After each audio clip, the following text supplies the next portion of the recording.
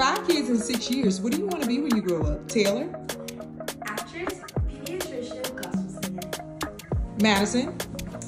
Engineer, fashion designer, artist. Ava? Firefighter or CEO. Noel? Bodybuilder, a dance and gymnastics school. And Grace? Gymnast and a dancer.